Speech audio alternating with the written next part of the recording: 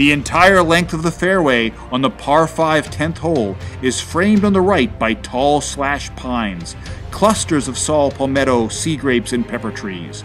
On the left side, bunkers provide the framing and an often difficult challenge.